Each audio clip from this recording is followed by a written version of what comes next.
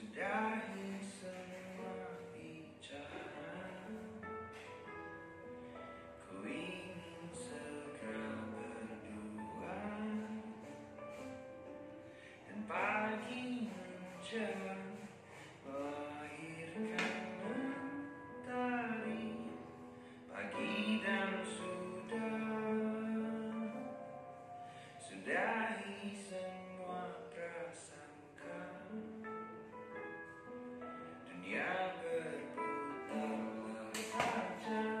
Hey, halo RGK, apa kabar?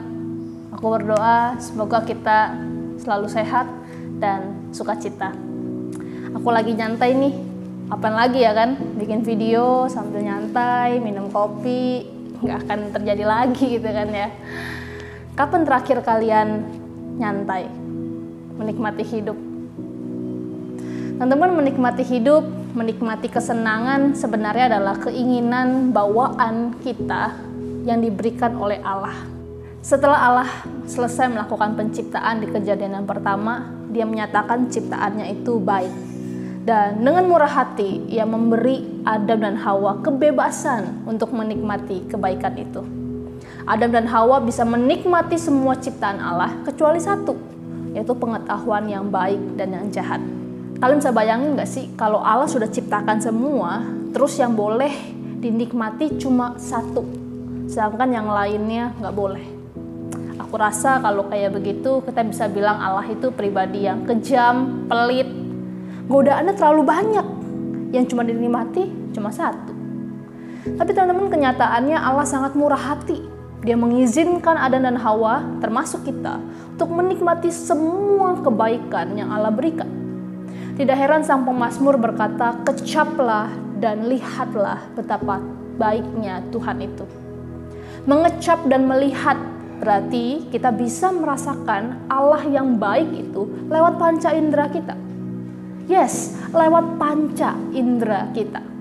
Kebaikan Allah bukan suatu doktrin Kristen yang sulit dipahami, tetapi harusnya dirasakan dan dinikmati. Sesederhana aku minum kopi yang harum, Allah sungguh baik menciptakan biji kopi yang beraneka ragam dan wangi.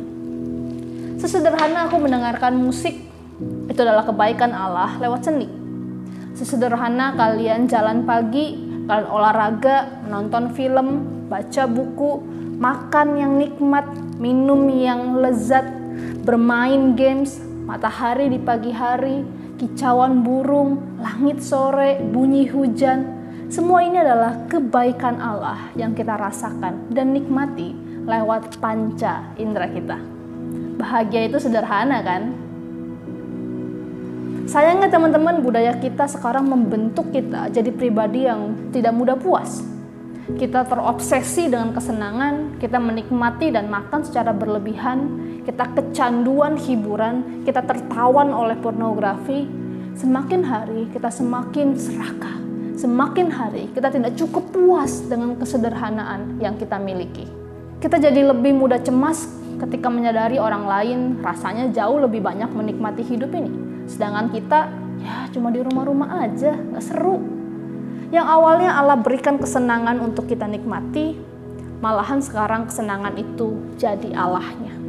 Yang dulunya pemberian kini menjadi jebakan. Itulah mengapa teman-teman kita perlu belajar memperlambat tempo hidup.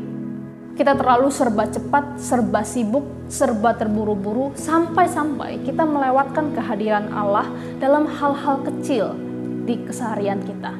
Kalian masih ingat dari episode yang pertama sampai yang ke-9, kita belajar peka dan memaknai ulang setiap aktivitas kita sebagai cara kita beribadah kepada Tuhan. Sekarang waktu santai, kita juga bagi kemuliaan Tuhan. Mari kita belajar mengarahkan keinginan bawaan kita untuk kenikmatan dan kesenangan kepada Yesus, satu-satunya pribadi yang dapat memuaskan kita. Allah lah yang seharusnya kita nikmati selamanya sebagai tujuan kita dicipta. Selamat menikmati waktu santai bersama Kristus teman-teman RGK. Tuhan Yesus memberkati.